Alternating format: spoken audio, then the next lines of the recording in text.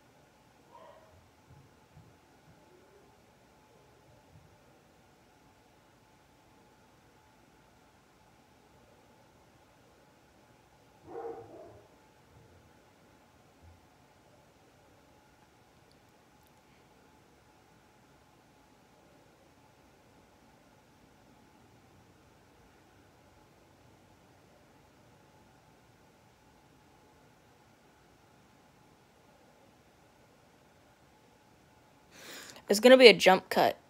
Um, so not a jump cut, more of another video of this.